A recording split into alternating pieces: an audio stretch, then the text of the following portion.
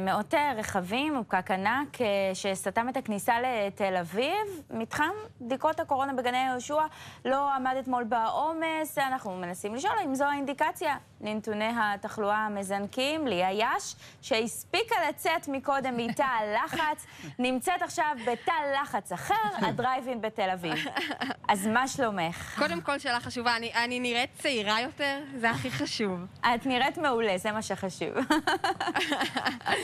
טוב, אז ככה, באמת אה, בשבוע האחרון אנחנו רואים שוב תורים מאוד uh, עמוסים, עשרות אנשים שמגיעים, אנשים שממתינים מעל לשעתיים, uh, שלוש, רק בשביל להיבדק. אגב, במד"א מוסרים לנו כבר נתונים די מעניינים, מפרוץ המגפה ועד היום, למעלה משלושה מיליון בני אדם שנדגמו רק על ידי מד"א.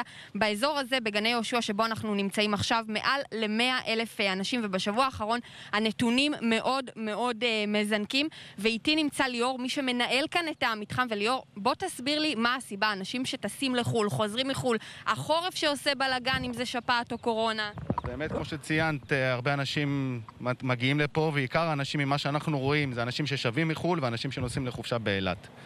זה מצביע על עלייה, ואנחנו מדברים סדר, סדר גודל של 900 נדגמים ביום, שרק אתמול, באמת, כמו שציינת את הפקקים, זה היה 1,100 נדגמים. אה, מתישול, זה הרבה באמת אנשים שנוסעים לחופשות, אנשים שרוצים לקצר את משך הבידוד שלהם, ואנשים ששבים מחו"ל.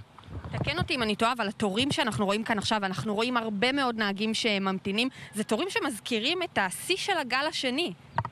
אה, עצם העובדה שפתחנו ארבעה מסלולים, שינינו את כיוון הכניסה, זה באמת כמו הגל השני או הגל הראשון בעצם, שעבדנו בתצורה מלאה של חמישה מסלולים, אבל אנחנו לאט לאט באמת כן, מקבלים את התמונה שאנחנו זוכרים מהעבר. נערכתם הפעם באופן שונה מהפעם הקודמת? אנחנו נערכים כמדי יום, ובניגוד לאתמול, שגם, אז היום הוספנו עוד דוגמים, פתחנו באמת עוד עמדה, עוד מסלול של דגימה, שינינו את הכיוון.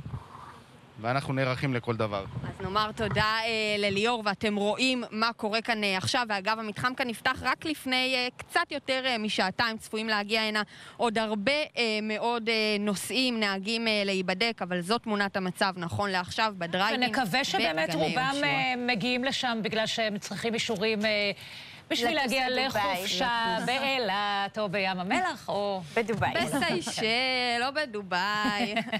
תודה, תודה, ליה יש. תודה רבה.